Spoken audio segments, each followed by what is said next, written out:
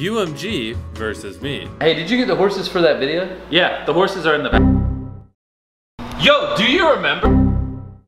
You've been staring at the sun for a while. You must have the eye of the tiger.